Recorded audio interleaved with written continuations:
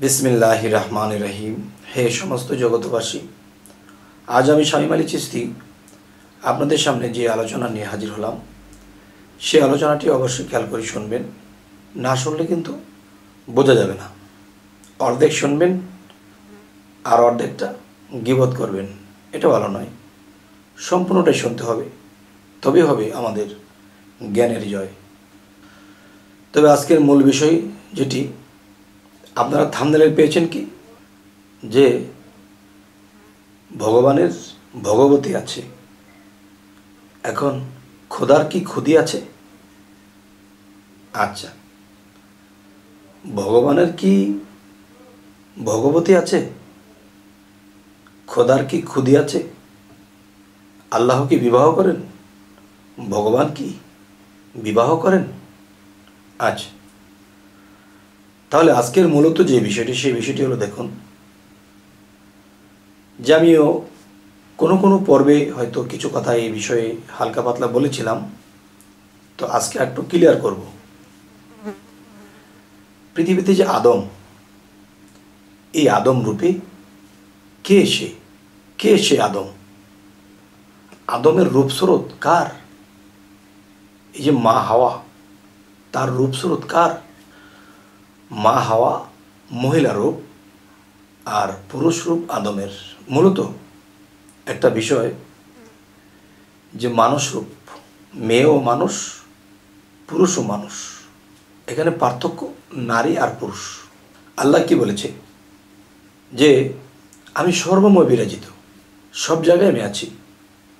পুরুষের মধ্যে আল্লাহ আছে, নারীর মধ্যে কি আল্লাহ নেই? নারীর মধ্যেও আল্লাহ আছে। আচ্ছা। তাহলে দেখা যায়, ভগবানের ভগবতী আছে। এখন খোদার কি? খুদি আছে কি না আচ্ছা। যাই হোক, আজকের যে আলোচনাটি সেটি হলো কি, যে ভগবানের ভগবতী নাই। ভগবতীরও ভগবান নাই। ভগবানই ভগবতী আর ভগবতী ভগবান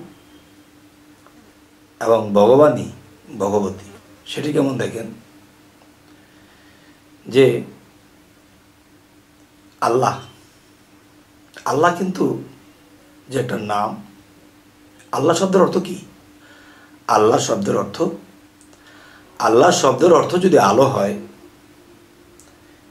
আমি যদি আলোকে ডাকি আলো কিন্তু সারা দেবে না, তাহলে সে আলোকিত যে আলো বিষয়টা, সেটা একজন পবিত্র মানুষের মধ্যে এই আলোটা বক্ষিত হয়। আল্লাহ নিজে সেই পবিত্র মানুষের মধ্যে বিলীন হয়ে যায়।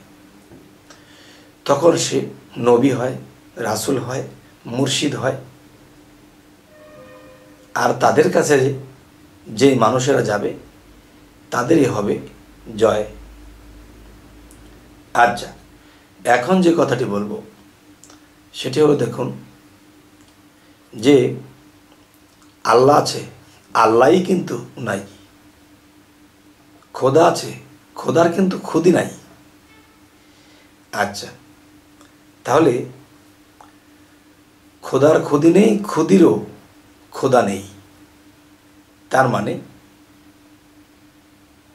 যে খোদা নিজেই খুদি আবার খোদা নিজেই খোদা এবং খোদা নিজেই খুদি ভগবানের কোনো ভগবতী নেই, ভগবতীর কোনো ভগবান নেই। ভগবানই ভগবতী ভগবতী ভগবান। এটা কি করে সম্ভব? এখানে তো নারী আর পুরুষ, এক কি করে হয়? দেখেন, আপনার মানব দেহেরটার ভিতরে যদি যান, এই মানব দেহের মধ্যে আসলে যখন এখান দিয়ে দুটি পার্ট করা হবে, একটি পার্ট নারী, আরেকটি পার্ট পুরুষ। আচ্ছা তাহলে দুইটা পার্টের মধ্যে একটা পার্ট পুরুষ, একটা পার্ট নারী। আচ্ছা তাহলে দুইটা পার্ট যখন দুই আলাদা করা হয়েছে, একটি নারীর পাঠ, একটি পুরুষের পাঠ।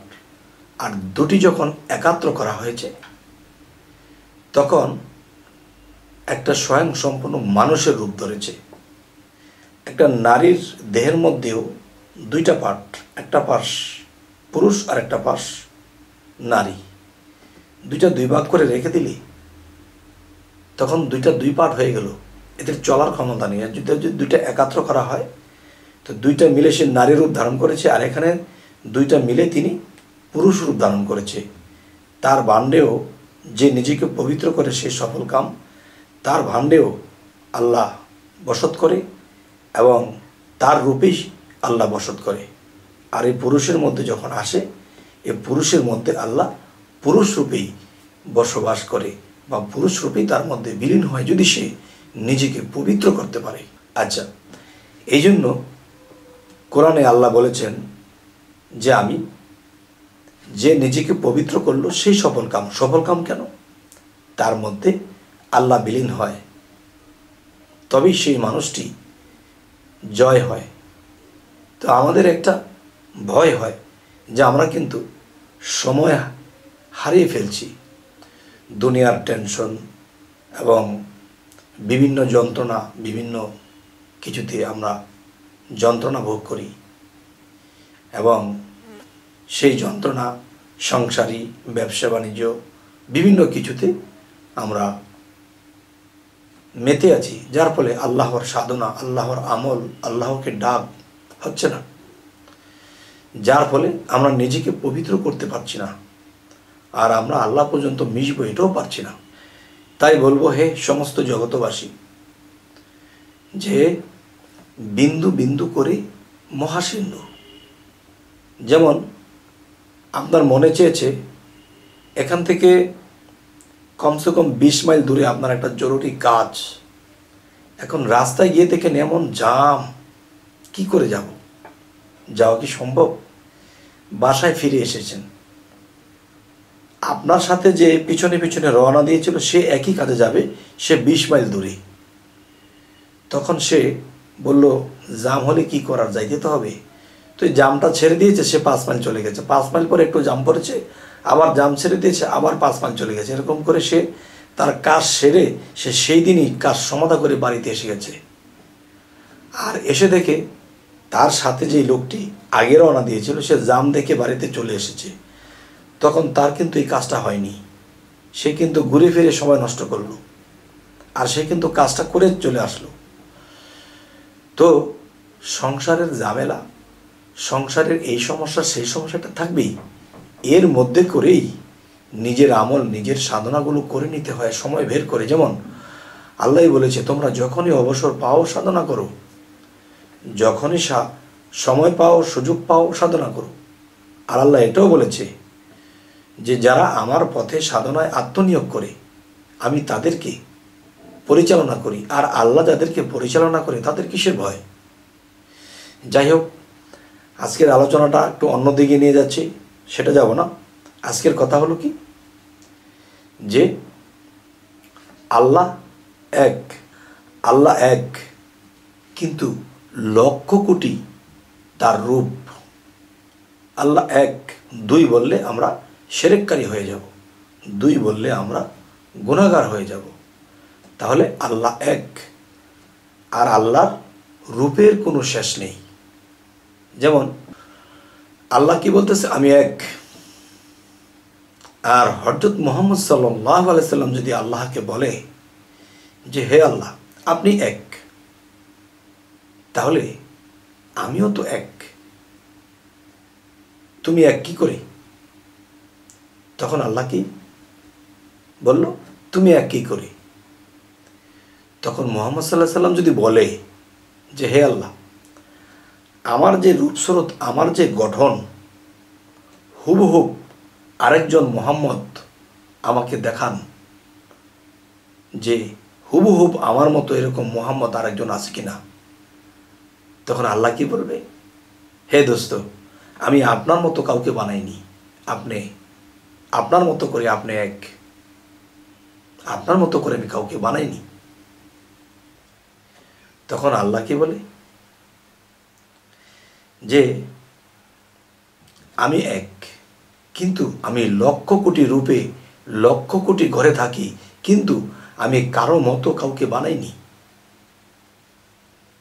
আর লক্ষ কোটি থাকার পরেও আল্লাহ এক, কারণ কারও রূপের সাথে কারও রূপের মিল নেই।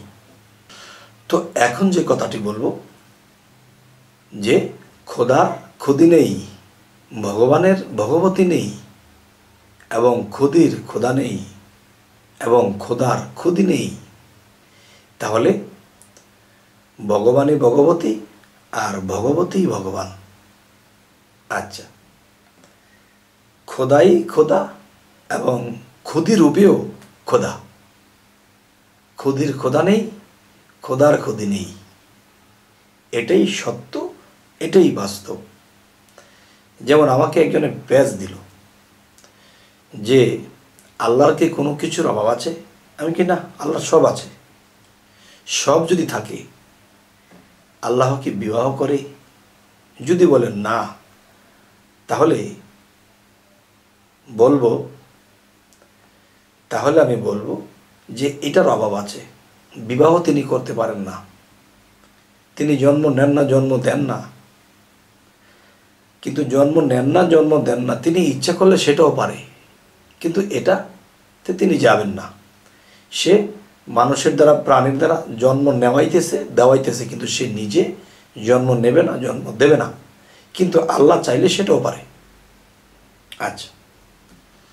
তাহলে আজকের যে আলোচনাটি আপনাদেরকে কি বোঝাতে চাইলাম এবং আপনারা কি বুঝলেন?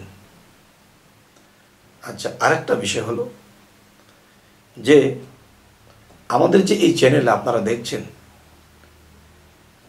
যে আপনাদের একটা কমেন্ট আমি যদি পাই যে আপনি এই সম্পর্কে কথা বলবেন, হয়তো আমার নিজের থেকে বলছি। তো এটা আমার পছন্দে বলেছি। আপনাদের কি পছন্দ? অবশ্যই জানাবেন। এবং আমাদের চ্যানেলটিকে সাবস্ক্রাইব করে রাখবেন। পরবর্তীতে যেন ভালো আলোচনা এনে দিতে পারি। তো সকলেই ভালো থাকবেন। আল্লাহ হাফিজ।